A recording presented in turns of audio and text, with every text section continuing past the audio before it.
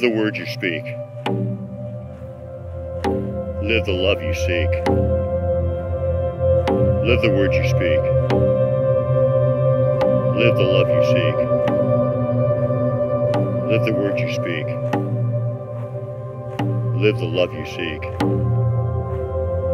Live the word you speak. Live the love you seek. Live the word you speak. Love you seek. Live the word you speak. Live the love you seek. Live the word you speak. Live the love you seek. You speak. Let's talk about fear. To the end of fear. Uh-huh. No fear.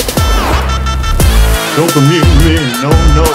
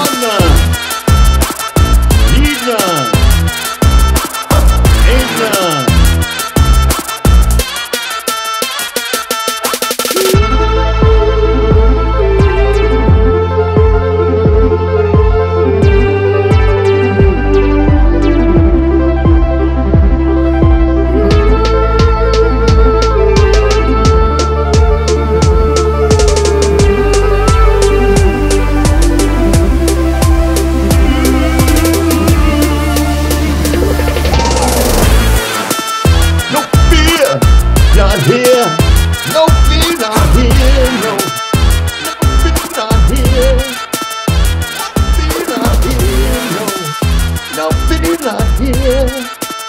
No, no fear, not here. No, no fear, not here. No, no fear.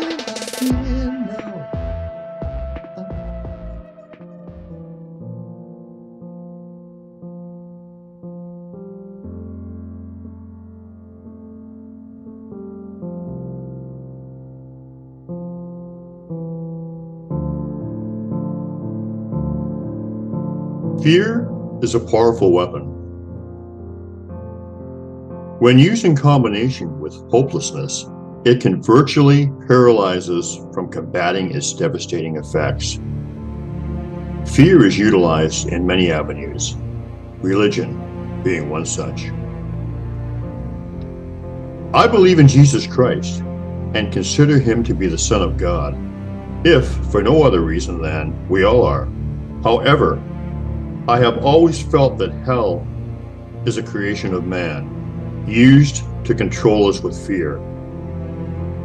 I have never understood the belief that a loving God could damn us to an eternity in hell for a lifetime that is a mere drop in the ocean of lifetimes we have lived.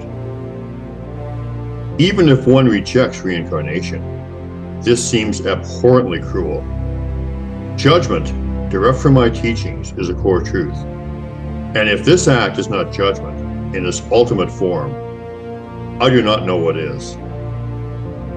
Fear prevents us from doing what we know is right, and that is why it is such a powerful tool for the handlers. As mentioned, it combines effectively with hopelessness. Hopelessness puts us in a state of inertia, unaware that we can react to it when fear is removed from the mix. We have been programmed to fear our differences as opposed to embracing them. There is strength in connection and chaos in division, and control is more easily achieved in a state of chaos.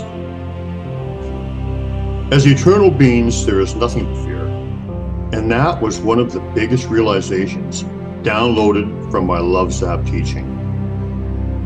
Those who keep us in shackles are counting on fear keeping us there. It has worked to date, but the key to freedom is contained within the core truths, as taught by the Sasquatch people and others. And when we adopt them, we cannot help but change. It can be no other way because lower vibrational restraints cannot exist in love. Fear not, universal traveler. Adopt love without judgment, division, or fear. Step into the light, claim your sovereignty, and bear witness to the inevitable change that we are on the precipice of imagining into realization. It's who we are, and it's time we take it back collectively.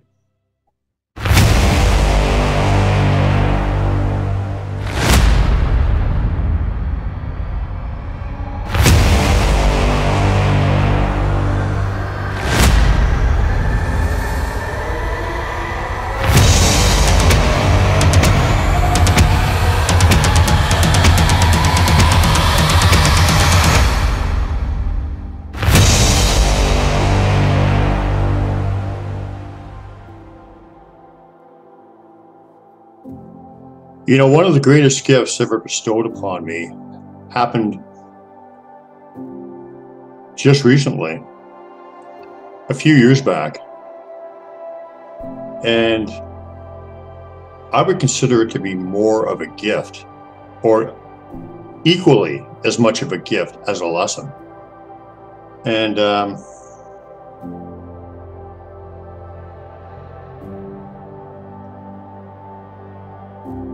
You know, these last few years have been hard on everybody. But there seems to be a great darkness being lifted off the land, as if we are waking up to the truth, as if the lies, the deception, the manipulation is coming to light. And you know, it is always darkest before the light, so with that in mind, these kind of things, these awakenings, these things coming to light, generally happen after periods of great darkness. And so, in that way, we can be blessed that it happened. Um, even though many loved ones were lost, even though there was a lot of suffering. For the collective, it may actually have been a good thing or actually was a good thing.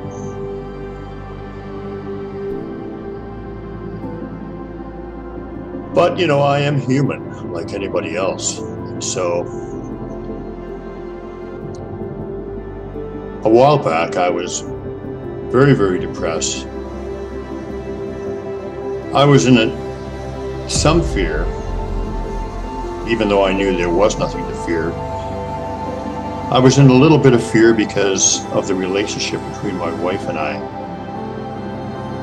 and the fact that the uh, rules and the regulations of the time were preventing us from being together.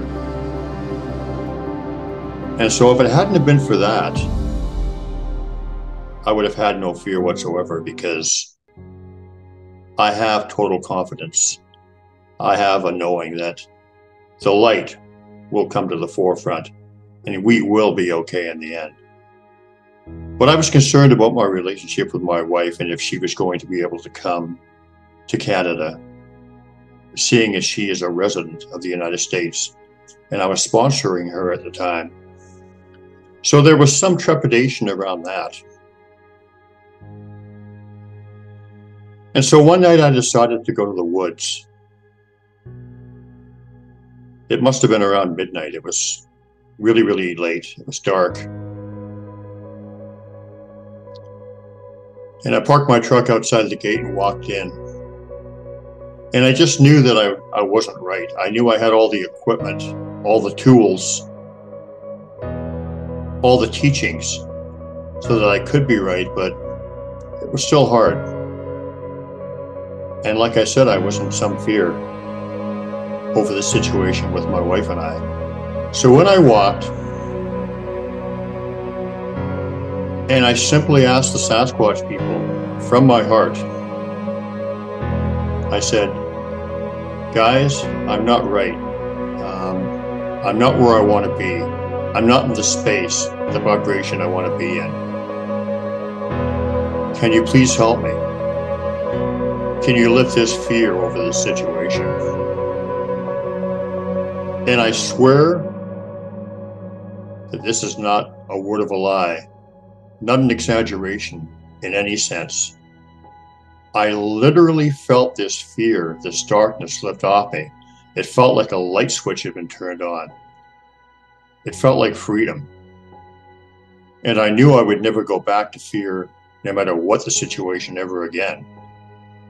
And I simply asked my people to help, and they did. And it was instantaneous. And this has happened many, many times um, for different reasons. This particular one is one of the most dramatic, one of the ones I treasure most. And trust me, when you're not in fear, it is the most freeing thing you can imagine. Freedom to do what you want, freedom to walk the path you want, freedom to not be in doubt about who you are, about where you're going. It enables you to do your work. And so this was a great, great gift for me to ask my people, the clan of Ari, to help me, and for them to lift this darkness from me instantaneously. And like I said, I literally felt it instantaneously. I guess some people would call it a miracle. Personally, I would just call it love.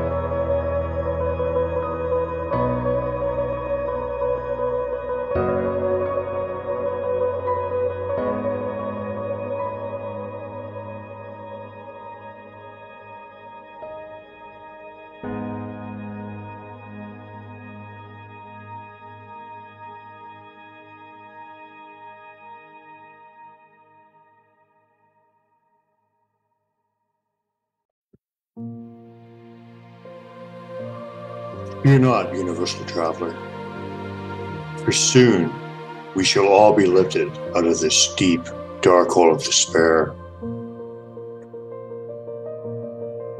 Lifted out of the lies and the deception of judgment, the lie of division, the lie of separation, to emerge into a bright light free from fear and engulfed with the pure, loving light of love, our true universal nature. When we're not in fear, everything changes.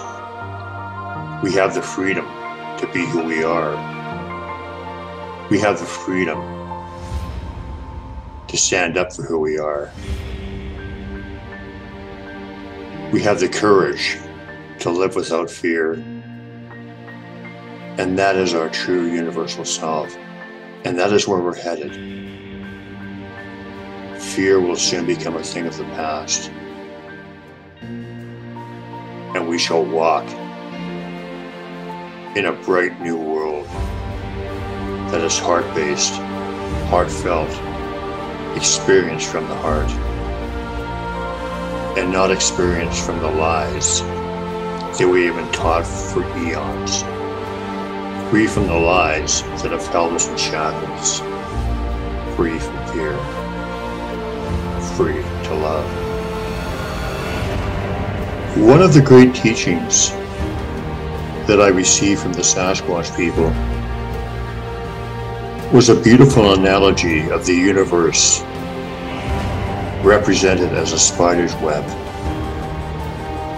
And every thought and action that we take is felt throughout the entire universe. And every thought and action that we take from one individual strand vibrates and is felt within the whole and within every strand. So we are creators. We create our reality with our thoughts and our actions. And these thoughts and actions are felt on an individual basis. And as in the analogy of the spider's web of connection between us all, is also felt on the bigger universal basis And so, as a creator, I feel with all my heart that it is important for us to create a future that we want, a future free from fear. Fear has been holding us back for eons. And I choose to create a future free from fear. For myself, as an individual, and for the collective. And we're powerful. Never think that we are unpowerful or that we are hopeless. Hopelessness is an illusion. Hopelessness is an illusion designed to keep us from reaching our potential, from growing as a race, from freeing ourselves from fear. So we are powerful. Never forget that. And when we have our thoughts and we have our actions and we create our future as individuals and as a collective one, create it without fear and move forward without fear. And of course, do it all under the strong foundation of love because love is the creator.